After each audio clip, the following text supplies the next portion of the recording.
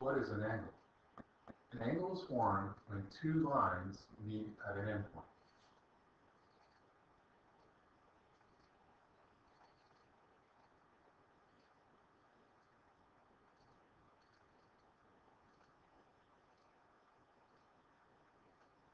An angle is made of one arm and another arm.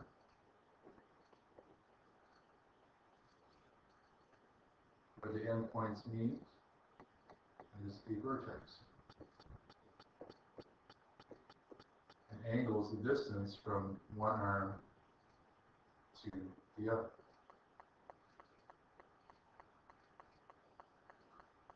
Angles are measured in degrees, and we measure angles with a protractor.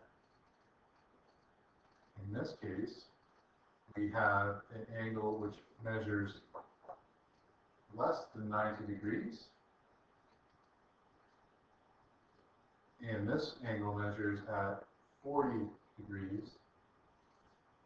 So we would make notation of 40 and the symbol for degrees.